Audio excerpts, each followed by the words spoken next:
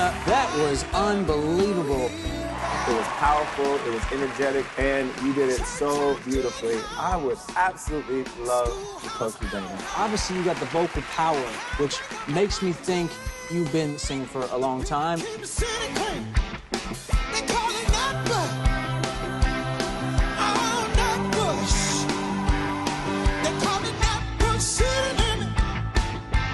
I think you are just absolutely exceptional.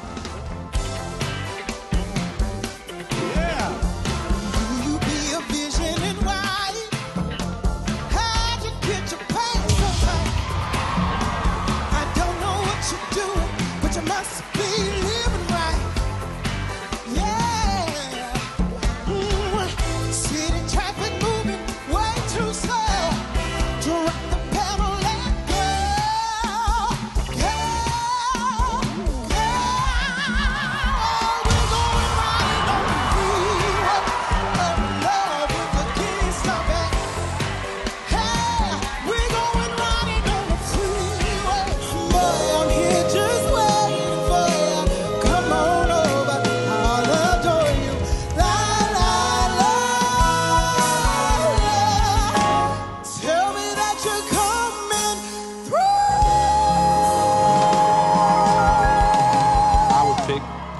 this moment. I just think she's incredible and, and long overdue for an opportunity like this. Dana, you just look natural up there, and when it came to execution, I felt like you were just on point the whole time. Dana, you just exude so much confidence. It is hard to look away from you. I'm just a fan.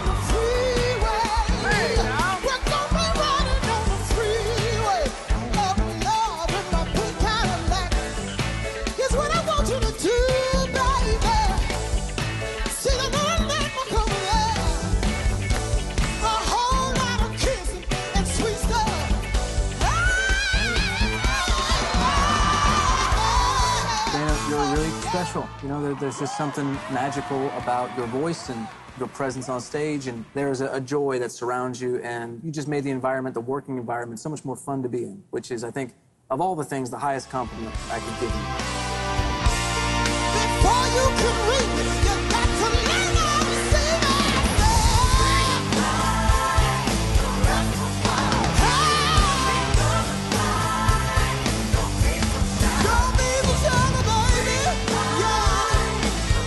doing this on all the biggest stages.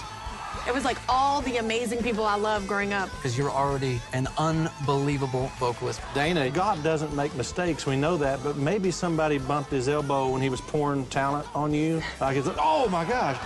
A little too much talent.